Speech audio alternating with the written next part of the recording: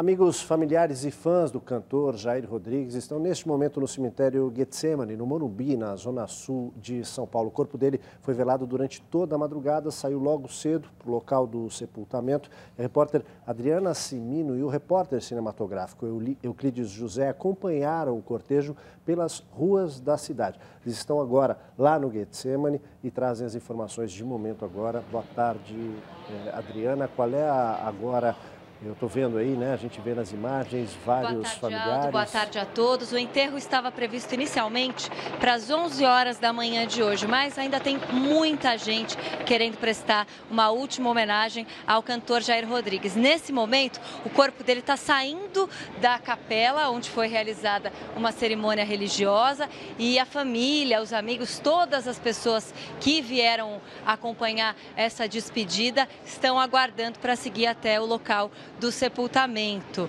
Estiveram aqui o, a atriz Marisa Hort, também uh, o cantor Sérgio Reis, o senador Eduardo Suplicy também conversou com a gente e o garoto propaganda Sebastião, que era vizinho do cantor Jair Rodrigues. Além de fãs e amigos que estão ainda aqui no cemitério Getsemane para prestar essa última homenagem ao cantor Jair Rodrigues, outras centenas de pessoas passaram de ontem às 8 horas da noite até o início da manhã nessa sexta-feira pelo velório que aconteceu.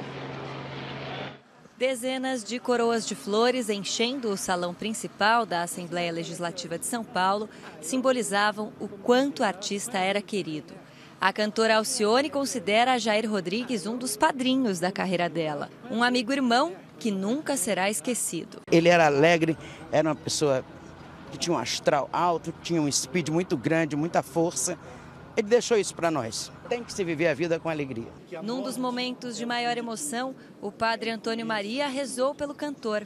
Claudine, companheira de toda uma vida, não conteve as lágrimas momentos antes de o caixão ser fechado.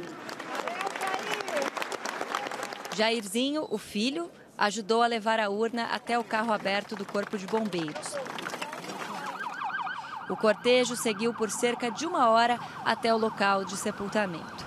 Às 9 horas e 20 minutos da manhã, o corpo de Jair Rodrigues chegou no cemitério Getsemane, no Morumbi.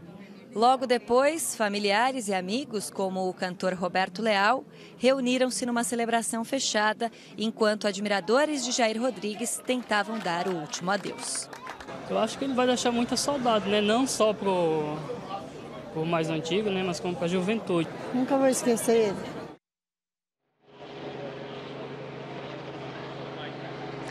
Bom, depois dessa cerimônia mais reservada apenas para familiares e amigos próximos, aconteceu um pequeno tumulto com alguns fãs que estavam impacientes para tentar dar último adeus. Mas a família foi muito compreensiva e instantes depois abriu a sala para que esses fãs pudessem se despedir do cantor Jair Rodrigues.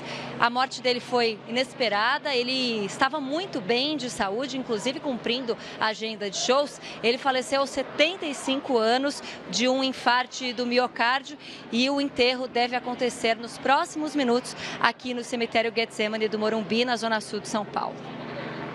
Obrigado, Adriana, pelas informações. Gabriela.